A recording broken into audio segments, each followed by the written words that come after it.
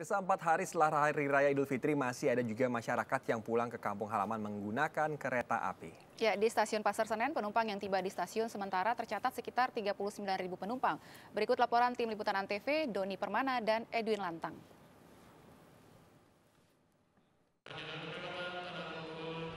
Baik, terima kasih Putra dan juga Deba, pemirsa.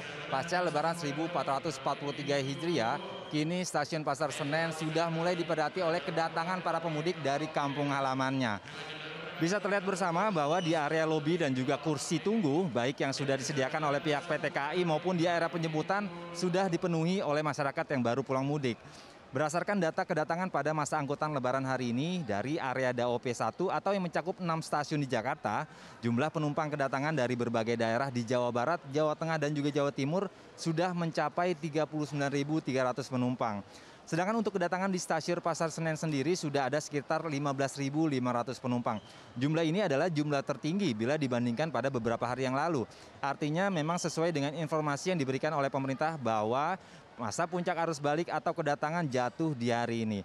Dan diprediksi jumlah kedatangan penumpang juga masih akan terus mengalami peningkatan hingga 10 Mei 2022 mendatang. Dan sekedar informasi pemirsa bahwa selain kedatangan ternyata di stasiun Pasar Senen ini juga masih dipadati oleh penumpang keberangkatan atau dalam artian masyarakat yang baru ingin mudik. Karena menurut pemudik sendiri, hal ini dilakukan untuk menghindari kepadatan atau kemacetan selepas dari perjalanan kereta api nanti. Tercatat untuk hari ini sudah ada sebanyak 29 kereta api yang beroperasi dengan volume keberangkatan sebanyak 15.400 penumpang. Demikian Doni Permana dan Edwin Lantang melaporkan dari Stasiun Pasar Senen, Jakarta. Kembali ke studio.